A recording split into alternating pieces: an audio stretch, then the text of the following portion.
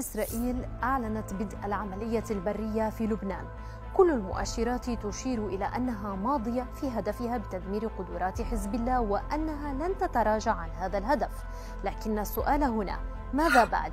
وهل يغري ما فعلته إسرائيل بحزب الله القيادة فيها لمهاجمة أهداف في العمق الإيراني؟ هذه الفرضية غير مستبعدة بحسب صحيفة تايمز أوف إسرائيل التي تعتقد أن تل أبيب ستوجه ضربة استباقية لردع إيران في حال اكتشاف أدلة قاطعة على أن طهران تستعد لشن هجوم داخل العمق الإسرائيلي رئيس الوزراء بنيامين نتنياهو كان عقد سلسلة اجتماعات استعدادا لهجمات متوقعة على إسرائيل من قبل إيران.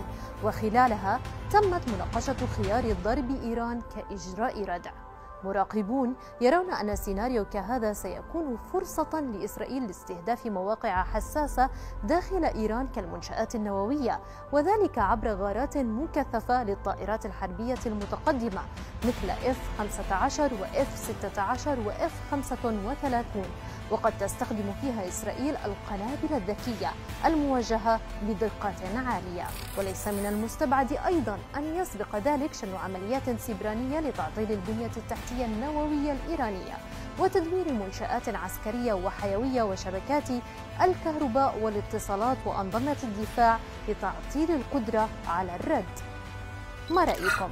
هل تمضي إسرائيل قدما بهذا السيناريو؟